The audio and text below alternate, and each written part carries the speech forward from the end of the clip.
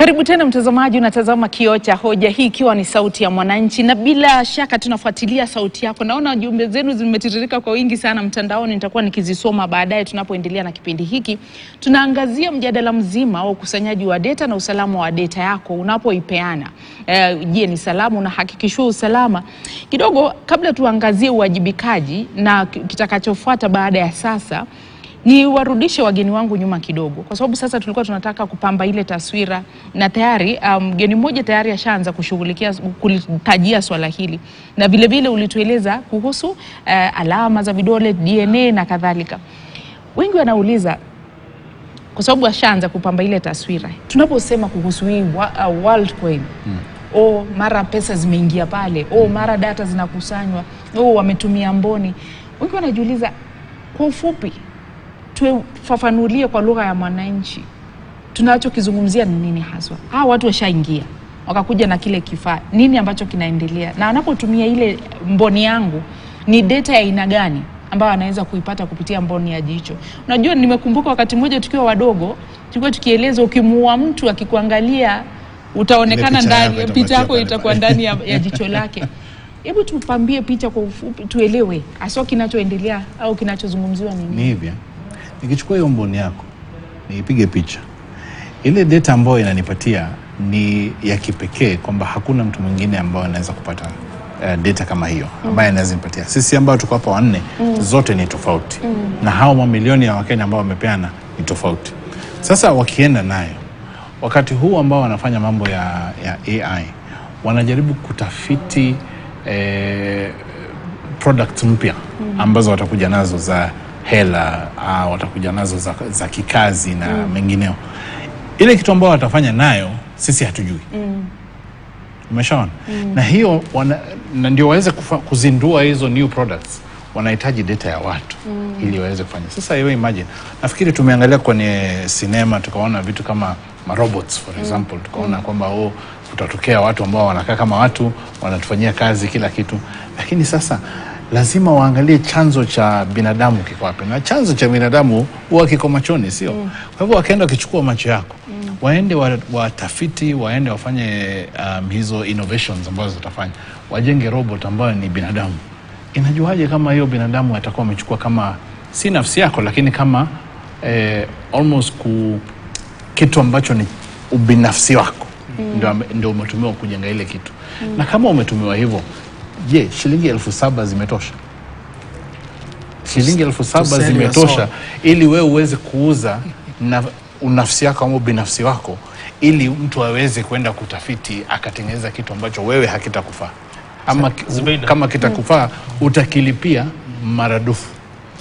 Hii ni kama vile ile example nimekuwa nikipeana ni hii, ni kwamba kwa mwongo mmoja nafikiri ama zaidi hapa Afrika tumekuwa tukipata watu kutoka nje wanakuja wanapata zile minerals kama diamonds, wanapata kama cobalt na nini, hata wanafanya watu napigana mm. ili waweze kupata nafasi ya kuchukua ile minerals waende waka, wa, waende wakafaidike nayo, kisha wanaenda wanafaidika wana, wana, wana nao wanatengeneza wana, miundo mpya mm. alafu wanatuletea sisi huku kwa bei ya juu.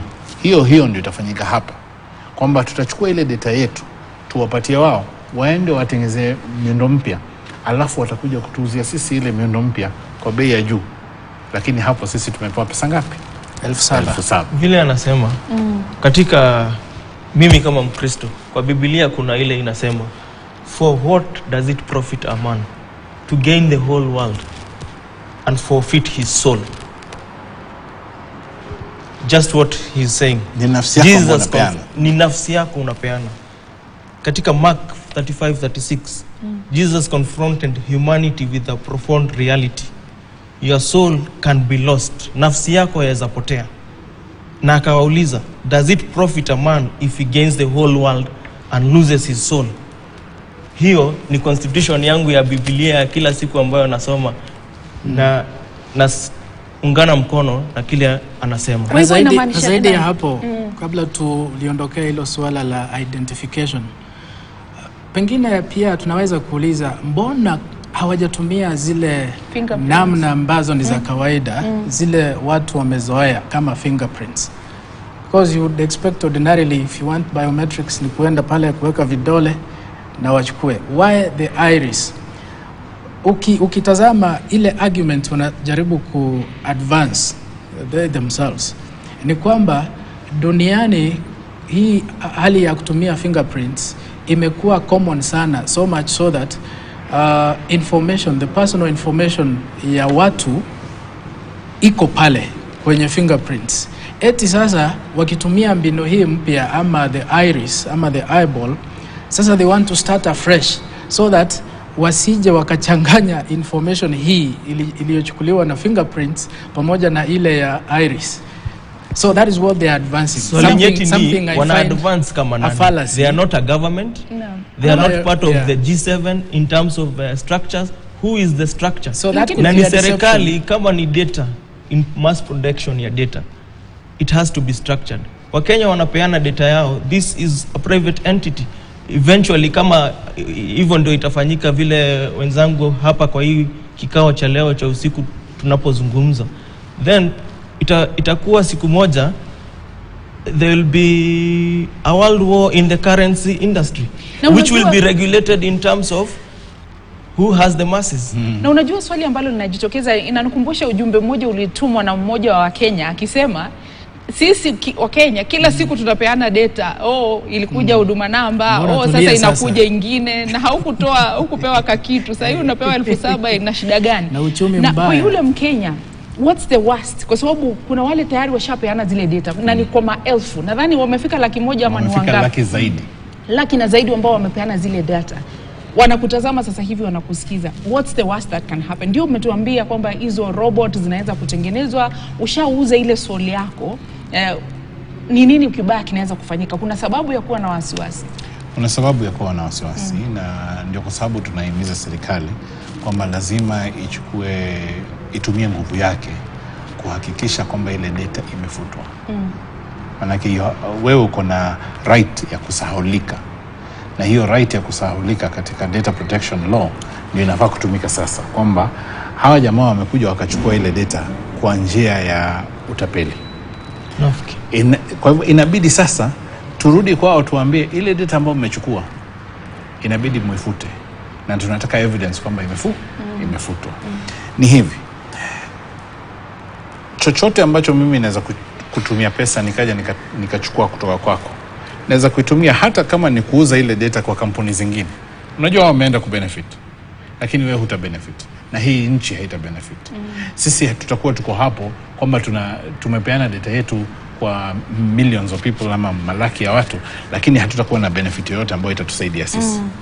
na hiyo ndio jambo kubwa sana ambalo lazima tu, tu, tu worry about it Mm. kwa sababu hivi sasa mtu ambaye ni, ni kampuni ya kibinafsi akija akichukua data yako ana right ya kwenda kuiuza ile data ana right ya kwenda kufanya utafiti wowote ambao anataka ana right hata ya kujua e, unajua hiyo data inaweza kuna watu wanasema mpaka inaweza kukupatia idea ya ugonjwa gani ambao unaweza kuwa uko hapa mm. kwa hivyo imagine amechukua ile data ambayo akapeana kwa kampuni hizi za madawa kampuni za madawa zikatafiti ile information wakajua ah, hapa kuna watu wengi sana ambao watapata saratani. Kwa hivyo tutengeneze um, dawa ambao tutaiuza afrika na tutaiuza kwa bei ya juu kwa sababu utasema hii ni ya ni hawa jamaa. Na swali ile na kubwa zaidi. ndio sisi ambao tumepeana data yetu mm. ndio tutaenda kuathirika.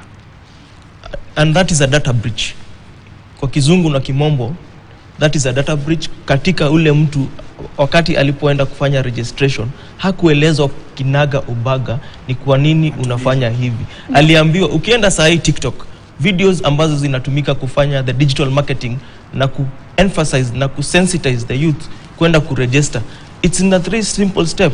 Enda register chukua sim, chukua kiki angalia kidude pata pesa yako uza trade but that is not the reality. The reality inafaa izungumziwe. Na katika ile data protection na policies i think hata zile agencies ambazo zinatumika kufanya hizi registration wanafaa waeleze data protection inakubali mtu aelezwe vile data yake itatumika. Kulingana na the data protection you have to disclose the information iko katika act yetu. Na, na unajua swali ambalo linajitokeza ni kwamba wengi wao um, walipeana ile data kwa sababu wengi wanasema hatuna pesa ya unga Naam. na ndio sababu tunarudi kwa hilo hilo swala kwa sababu limerejelewa uh, mara kadhaa mm. hizo elfu saba mmetuambia ni pesa za dijitali Yeah. ni vipi tunaweza convert hiyo pesa ya dijitali ikawa pesa ya unga. Inawezekana? Sasa, sasa hapo pia hapo pia kuna kuna process ndefu.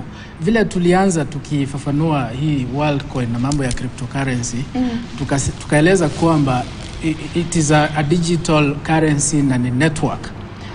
Sasa pale KICC kwa mwananchi wa kawaida ambaye hata baada ya kupeana ile data yake after registering they, they may not even have time kuenda tena hati kufuatilia kwa hiyo mitandao na kufanya transactions zile zinastahili kufanyika kwa hiyo process yote.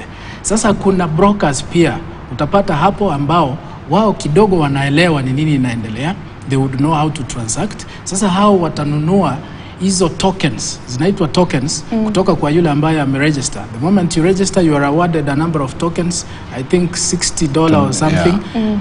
then uh, mwananchi wa kawaida yeye tu anauza hapo, hata unaweza kubagain hapo mpe tano mmalizane mm. hapo. Yeye ameacha data yake pale, umewachia broker hiyo hiyo hiyo hiyo, yeye ameenda ameendelea kutransact nayo. mm. Kwa hivyo ordinarily hiyo pesa inaenda tu ikizunguka kwa mtandao. That is how it's meant to work so that kama ni transaction unafanya unafaa kufanya in form of hiyo digital currency uh, ni exchange tu exchange tu. Ingawaje sasa hapo pia kuna hao broker wanaingia anakupa cash wewe unamwachia una- hizo tokens. Lakini Ngoma soja kutumia lugha tamu tamu. Hiyo ni ile tunasema ni soko chafu hiyo. Hiyo ni soko chafu. jana nilimpata kijana mm. pale airport nikamuuliza nikiwa napiga tu story akaniambia yeye alienda na alipigwa hiyo picha. Mm. nikamuuliza sawa iliendaje? Uko na hizo pesa? Akaniambia ah mimi nilienda Monday. Nikaenda nikafanya ile scanning wakanipatia kikaratasi nikasign wakanipeleka na simu yangu wakanitilia zile coins pale ndani. Nilipotoka pale KCC pale nje tu kulikuwa na jamaa aliniita kando akaniambia sasa sikia mimi nitakupatia pesa wewe unipatie hizo coins unitransferie kwa simu yangu. Kama vile tunafanya na mpesa tu. Mm. akamtumia hizo na akapewa. Huyo jamaa ni kama agent vile wa mpesa. Aka- akamtumia hiyo akachukua ile pesa. Yeye ana, ana pesa nyingi kwa hivyo anachukua kwa wananchi wengi hizo coins anatumainia kwamba kama vile ile ya bitcoin ilienda ikapanda ikapanda wakati mmoja ilikuwa ni elfu kadhaa mm. sasa ilienda ikakuwa malaki kwa hivyo huu pia anatumainia kwamba hii worldcoin itaenda kidogo kesho itakuwa worth laki kadhaa mm. kwa hivyo anazinunua kwa hawa wananchi kwa hiyo elfu saba saizi mm. umeona huyo ni mkenya ambaye amejitolea amejua kwamba hapa kutakuwa na na marupurupu ambaye ata, ata benefit -mm. yule mkenya ambaye niliongea na yeye alienda akapigwa picha akapeana hiyo simu yake akapewa hiyo coin akaenda kwa mwenzake akampatia hizo coins akapata elfu zake sita mia alipewa elfu sita mia nane mm. alipopewa hizo elfu sita mia nane ni kama hivyo amesema kwamba lazima una bargain kidogo si ndio?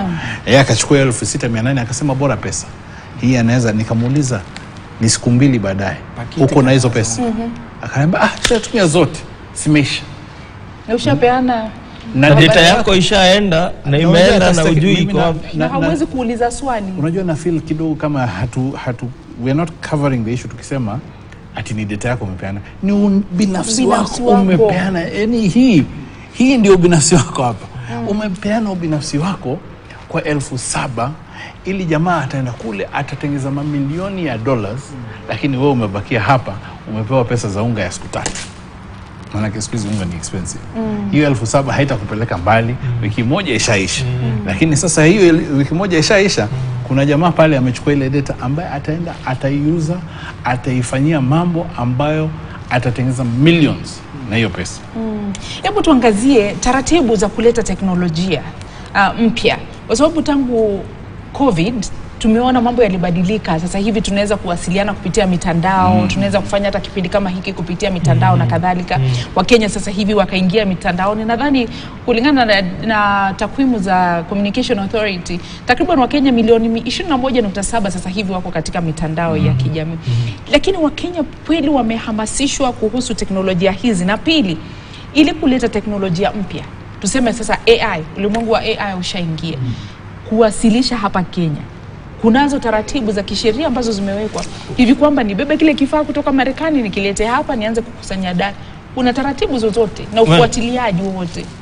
Uh, kuzingatia katika hiyo swali, teknolojia being a global and a borderless solutions ambazo zinatengenezwa katika ile software development process, katika ile innovations process, it is not bounded. Leo hii kuna mtu ana code, ana program, ana, anaanzisha a solution, mwingine anaichukua anaitekeleza ana- ana na inakuwa a product. TikTok haikukua few years ago, saa hizi ndio, ndio tunatumia sisi wote, so that advancement itazidi kukua na itazidi kutendeka. Ya muhimu ni ya kwamba we need uh, au tunahitaji kuzingatia safe practices wakati tuna, tunaunda hizi solutions na hizi system zisije zikatudhuru. ChatGPT ndio hiyo imekuja inasaidia positively, AI inatumika inasaidia positive. Kuna IoT solutions ambazo zinatumika kwa lighting, uh, street lighting. There is also a lot of positivity in the technology ambayo imesaidia, na wengine wanadhania inakuja maybe kumaliza kazi au inakuja ku, kuondoa wengine katika nafasi zao za kazi. Hiyo inakuja ku enable a technology ni an enablement. Serikali inafaa ku, kuangalia na kuleta a fine uh, integration katika zile uh, processes za when the development is taking place the law is also taking place na zote zinaenda pamoja. Saa hizi Kenya wanafaa wale parliamentarians kuunda law ambayo itasaidia pia hao vijana ambao wanajaribu kuunda very nice systems na nice solutions ziweze kutumika. Saa hii innovation yoyote ikifanyika na hao vijana ambao wanaingia kwa internship haiwezi chukuliwa katika mfumo wa serikali kwa sababu the procurement laws cannot allow. So hao vijana wana end up kwa other countries kutumia hizo skill set zao through uh, open uh, infrastructures kama vile Upwork ambayo wanaweza kuprogram wanafanya kazi India wana, wanatumia hizo skill set zao but mm. we are not able to harvest so back not to, inter, to digress maybe rafiki yangu ana kuongezea Unajua, mm. Hiyo tuende mapumzikoni. unajua ni hivi mm. chochote ambacho kinatokea ni kizuri. Ni kizuri. Ile innovation ambayo inatokea kutoka nje ni nzuri. Tumepata Facebook, tumepata mm. X, tumepata mm. Twitter, tumepata TikTok, mm. tume... zote ni nzuri na zingine na zije zote ni sawa sana. Pia vijana wetu nao watengeneze ziende hata nje, zingine zinaenda zinatumika nje ambazo hazitumiki hata hapa Kenya vizuri. Zote mm. ni nzuri, lakini ni hivi,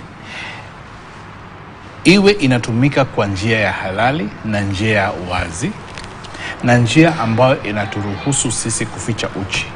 Sisi kama Open Institute tuko na campaign ambayo tunaambia watu ficha uchi wako. Mm. Yaani hii data yako i protect ni kama nguo, mm. ficha uchi wako. Usiachilie tu kila mtu akajua.